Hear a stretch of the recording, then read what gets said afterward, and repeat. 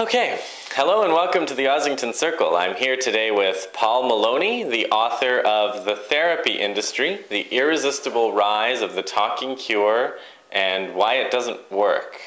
Is that right? Yeah. So, Paul, That's right. thank you for joining us today. Uh, can you, can, why don't we start with uh, just, why don't you tell me a little bit about the argument of the therapy industry? Okay. Uh, well, Justin, the basic argument is that psychological therapy, talking treatments, and talking treatment techniques have become very widespread throughout Western culture and throughout much of the world as well. And th- this, this diffusion of talking therapy and talking treatments is often assumed to be a sign of increasing, I guess, humanism, the provision of care, and aid to people who are distressed. It's often seen as a very helpful and sensible thing to do. And the argument of the book is that, in fact, the vast majority of talking therapies uh, are not nearly as effective as they are claimed to be, that they have little basis in, in science, in fact, uh, and that they are not as helpful as people often assume them to be, and that they um, actually make it harder for people to understand why they're distressed because most psychological therapies are premised on the idea that distress arises from a failure of our insight, motivation, or learning, our failure to strategize or to adjust to the world around us. And they encourage people to think that the source of their problems comes from within, from these internal failures, when in fact there's a vast amount of evidence which has been accumulating steadily for the last century, one could argue, and particularly in the last 20 or 30 years, which suggests that it's the social environment that brings about the problems that bring the, the, the, the, problems that people go to seek treatment for are caused by their social context. Things like poverty, inequality, racism, sexism, harassment, mistreatment at work, uh, general life pressures, debt, Yeah. financial insecurity. Those are the kind of things that create the problems that take people to therapists. One of the one of the striking things that you do in the book is you review a lot of the scientific evidence, these meta-analyses Yes. uh, about therapy. And uh, you know, one one quick response that I think might arise is people might say, "Well, you know, therapy is unscientific, but drugs, obviously, like antidepressants and anti-anxiety medications, Yes. they those have scientific backing because they address chemical imbalances in the brain. Yes. What's your uh, understanding of that particular argument Well, or idea? uh, I, I think there's there's uh, there's a, a parallel between the evidence base for many psychiatric drugs and what we find for talking therapies. It's not an exact parallel, but it's fairly close. So, for instance, I don't know if you're familiar with the work of a British psychiatrist named David Healy, who's yeah, uh, came to Toronto, so Toronto people know a little bit They about would, Healy. yes, I would think they would. Yes, well, as as you as you probably know, David Healy uh, spent the last 25 years or so uh, looking into the evidence base in support of many leading psychiatric drugs, including the SSRI antidepressants like Prozac, uh, and also uh, drugs that are used to treat uh, people who have symptoms that we might describe as psychosis or schizophrenia in inverted commas. And what he has found is that this evidence base is, in fact, much more tenuous when you inspect it closely than you might suppose. Um, one of the key problems with this is that the, the, the research from drug company trials is kept under lock and key, the basic data that informs the research, rather, so that uh, it's not available for public scrutiny. And then you've got the fact that this data is often cherry picked by the drug companies, and then it's massaged through various statistical procedures, and then it's packaged uh, often by ghostwriters who are paid to make that drug, the, the, the latest version of the drug, which is re- released onto the market, to look as effective as possible in relation to its predecessors and competitors. And what you have there then is that uh, the, these ghostwriters, I think they account for, for perhaps up to 50% of academic papers, which is quite astonishing. Wow. Yeah. Stunning. So, so there's Yeah. clearly a very strong set of biases built into the whole field, and then the drug companies market uh, these drugs on the basis of this faulty data. And doctors, clinicians working in general practice, for instance, are not really well trained to sift through uh, the the research trials and the reports of the research, and they're often unduly swayed by drug company literature. So that so I think there's actually a close to, parallel. But when it comes to the talk therapies, I mean, so on the drug side, you have a billions of dollars yes. industry. Yeah. Uh, on the therapy side, not maybe not so much. So what is the what is the therapy industry pushing people? Like what's the material or other interests in, in, in moving people towards talk therapy? I think that's that's a very interesting question, um, and again, th- th- there are some parallels because um, I think okay. you know if you take Brave New World, for instance, and the, the, novel Brave New World and the use of sound, Aldous Huxley, you, you can yeah. see that there's a, a, a, biochemical therapy there which is used to pacify the population right. and sort of keep them pliable. Um, and I think you can argue that the same thing happens with psychological therapies in some ways. Uh, this, this whole emphasis on internal processes and change coming about through tr- internal transformation um, is certainly convenient for governments who don't want to ask too many difficult questions about why so many of us feel lousy and are struggling. Um, and it's, uh, I think it's, it's often convenient for employers as well and other institutions where, where there's a tendency not to want to ask hard questions about why people are distressed.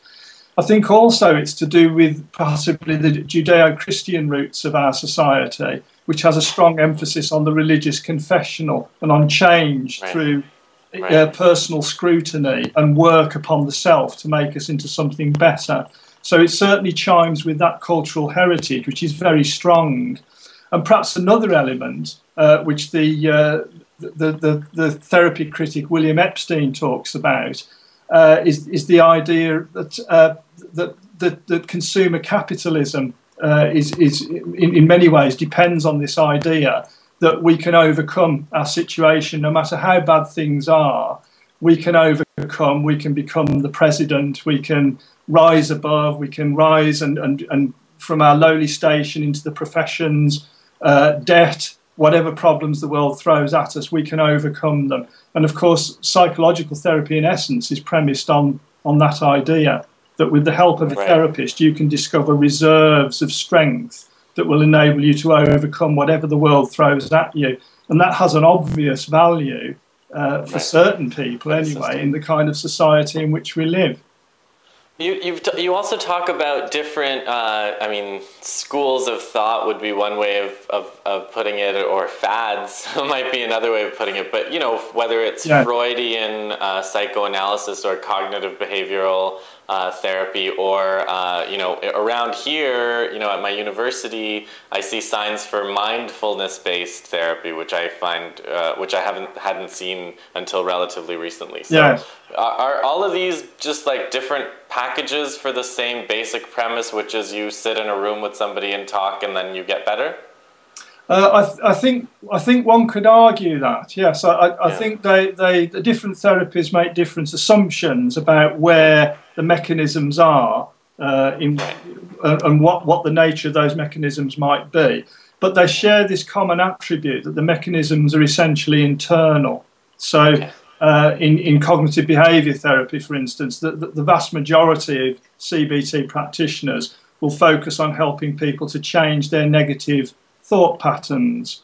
They will help them to uh, adjust their behavioural repertoire so that they are behaving and doing things in a more positive way that will supposedly enable to get them get the things in life that they need.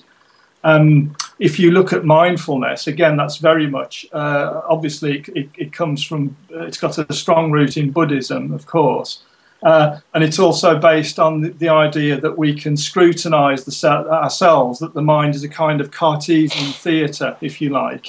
Uh, so, so that we can actually look in on our thought processes and detach ourselves from them and sort of sit back, as it were, and no longer be disturbed by this troubling content that's bubbling away. So, again, it's very much an internal thing. And that's that's not to say that these things are totally wrong. Obviously, we can modify our thinking to a degree, and we can, we do have the capacity to observe to, to agree what's going on. But the, the, the difficulty comes along in the assumption that that's enough to shift people when they are very distressed. So it might be all right if someone has a very mild degree of distress, but once you start to get into significant levels of emotional pain and disturbance, those things become very problematic, I think. and, and, this is a good entry. We've been talking a lot about the internal bias, maybe, of these therapies. Yes. Uh, tell me about social materialist psychology, which is what you introduced towards the end of the book. Yeah. What is social materialist psychology? Okay. Well, the, the, the term social materialist psychology uh, was, was invented by a, a, British clinical psychologist called David Smail. And uh, David Smail's quite an interesting person uh, to, to look at if, if you're trying to study how the ideas of some psychologists, anyway, can be influenced by their clinical experience. And uh, Smail was one of the first clinical psychologists in the UK to operate in the community. So, up until the 1960s, uh, clinical psychologists had generally been based in psychiatric hospitals, working with highly institutionalized disturbed patients and often as handmaidens, if you like, to psychiatry. So performing the um, psychometric tests for psychiatrists and helping with behavioural therapies. And uh, that in the 60s, they actually started to move out of the hospital to work uh, with general practitioners and in the community. And uh, Smail was one of the first people to do that in Nottingham. And he spent 30 years as the head of the clinical psychology service in Nottingham in, in northern England. And uh, what Smail found, because uh, he wrote quite extensively throughout this period and is still writing, in fact, um, what Smail noticed was that uh, to begin with, he was seeing some of the most deprived people. So it's generally working class people were his main constituency, uh, often working class women as the most oppressed or deprived people. Uh, then he noticed that in the 1980s, with the rise of Thatcherism in the UK, and the first introduction, really, of sort of neoliberal policies that now dominate our lives and that are part of, indeed, of the austerity program that governments are imposing on us. When, when those neoliberalist policies started to come into the UK, Smail noticed that suddenly through his door he was starting to get a lot of middle class professionals. So he was starting to get university lecturers, um, teachers, um, accountants, uh, people in those sort of professional fields. And what, what he observed was that all of them attributed their anxiety or their depression to their own failures, their failures to strategize properly in the world of work, to adjust to the, the demands of the modern world, their lack of motivation. Whereas to him, as a psychologist with an interest in society, it struck him as pretty obvious that they were actually experiencing uh, a disintegration of their world. So they were often in workplaces where accepted ways of working, ethical practices, ethical values, tacit values in many ways, informal values, were being undermined and shoved aside in favour of a competitive, hard nosed world of business, uh, no nonsense profit making, and those kind of things.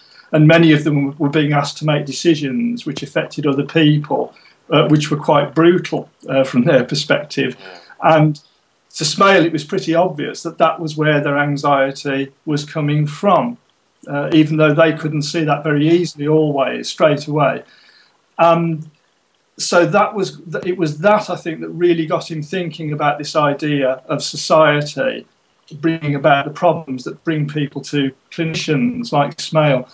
And social materialist psychology is a reflection of that. What struck Smail as well over many years of practice was that he kept seeing the same people coming back after therapy. If you're based in one area in a community mm-hmm. um, and you're not moving on from job to job, what you notice is you tend to see the same people coming back again and again. This is quite a common thing. And this struck Smail as quite a significant observation yeah. that's not often written about. And of course, the reason was that these people were not being cured by therapy. They felt better unburdening themselves to, to a thoughtful, intelligent listener, a sympathetic listener. So you feel better, sort of bright eyed, you feel somewhat refreshed by that. But when you go out back into the world, it continues to do its damage, and these people would be coming back. And that was the other insight that led him to start questioning the basis of talking treatment. So the idea of social material psychology comes from that, and it also comes from, uh, I guess, the critical mental health literature, which is informed by epidemiology. As you, as you probably know, Justin, there's been a lot of research over the last 20, 30 years, which shows that things like poverty, indebtedness, pressures at work have an enormous effect on people's mental health and are very harmful and have a direct bearing on things like suicide rates, for instance, as well as things like clinical depression. So it was that kind of literature that influenced him as well as a knowledge, as well as a knowledge of the sociological literature. Um, you know, academics who've looked at the effects of the social system on people's state of mind and how they function as, as individuals. So it was that sort of critical literature as well, which informs uh, informs social materialist psychology.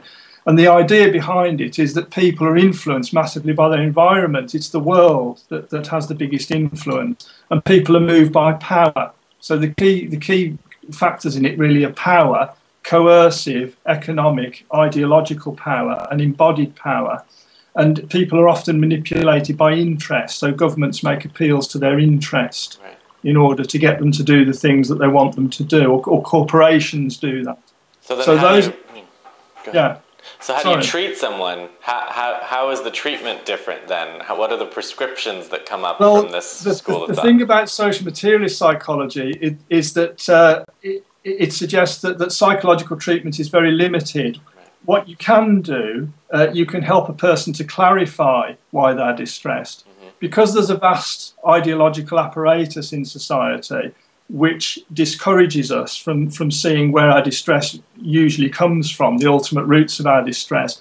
People tend to blame themselves, and arguably, a lot of psychological therapies encourage them to do that. They tend to see their mental health problems as a result of their failure to struggle or to be sufficiently determined. In essence, just a lack of willpower.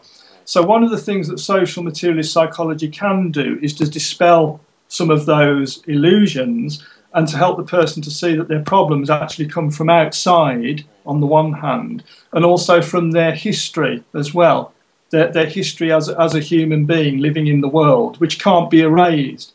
Again many therapies seem to promote the idea that you can erase your past as you would clear a, a disk on a computer. And of course that's that's inaccurate. That's not how we function as biological creatures. So this form of psychology does enable people to see uh, that their predicament is not their fault. It does help to remove that sense of blame, and that's useful. And to help them to understand where the true sources of their troubles are likely to lie, um, that can be helpful. Um, it can also encourage them to acquire power and resources in the outside world. But of course, the catch is where that's possible. Right. And that's the difficulty because for so many people, it's not, if it were possible, they wouldn't be seeing a therapist. Right, and, and of course, in a way, the, the, the prescription is a collective organization to try to change the, the equation of power in society, right? But that also yeah. is a tall order. Uh, that leads me to my last question, though. Like, you know, I, I do think some of our viewers, some of the people that will be watching this video are activists or people who try to do that kind of thing, try to change the world. Uh, and if you yeah. if you take that on, you know, your friends and family tell you you're crazy, the institutions are against you, you your job might be threatened, you have to, you know, be be very careful. There's this constant sense of tension, uh, you're engaging with a world that's depressing and anxiety inducing. What kinds of uh, prescriptions can you offer as a psychologist for activist specific burnout and depression and anxiety? Right, for, for, for those kind of things. Well, I think uh, one of the things that's that's a very that's a very big question, but I think one of the things that's very helpful with that is solidarity. So if you think about power, mm-hmm. what you're trying to do, if you're trying to challenge iniquitous power structures, that's a very difficult thing to do. Yeah. It's a very depleting and exhausting thing to do quite often. So, one of the things that can help with that is solidarity with other people who share your values in common and can provide support. And if you think about it, solidarity is one of the few forms of power that's available to ordinary people. Right. So that is one of the main things probably is to seek links with other people who are supportive. Um, I think, uh, aside from that, the other thing would be to try to acquire power for oneself yeah. in the way that we all do through, you know, through, for instance, work, yeah. uh, social connections, um, in, uh, training, academic training, trying to build as many resources into your life as possible right. Uh, so that you can call on those resources if you need them. That makes a lot Which again, I think that's probably a very commonsensical sort of answer. But that's But, not uh, necessarily what the what the therapy industry would tell you to do, right? They would tell you No, to no, adjust to no, your no, that's- situation.